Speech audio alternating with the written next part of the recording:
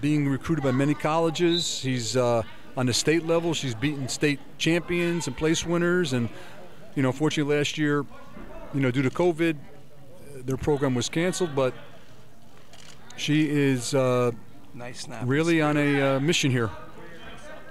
Nice snap and spin there, coach. Nice cradle. Lock it up. Got her knees on the inside. Goes away, and that was a quick pin there. And your champ, 26 107 pounds, is from Perth Amboy, Ahsia Torres.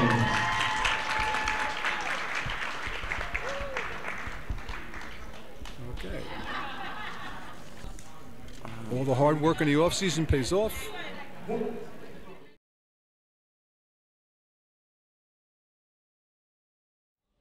Hi, I'm here at the GMC Girls Wrestling Championships with our 107 pound champion, two time champion? Two time champion, eight. Third time this time.